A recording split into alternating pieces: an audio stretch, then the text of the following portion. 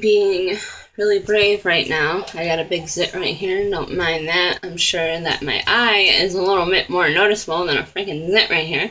Um, but yeah, this is what I've been dealing with for the last two months. Is my eye drooping like this, my voice sounding funny. Um, I really hope I can get some answers today. This eye looks all normal. This one has like no muscle function at all. It's just like, it's all loose. Like, eh.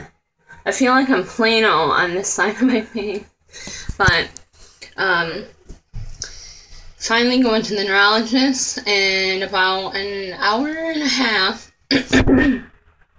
and hoping for answers.